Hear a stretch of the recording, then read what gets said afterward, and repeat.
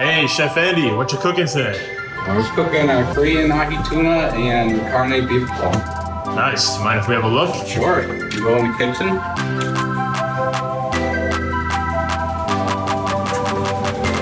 What we got over here?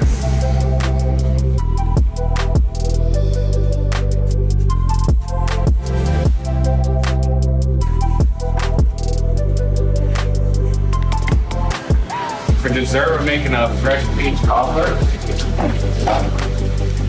Wellington's making it, rolling out the dough for the top, fresh peaches,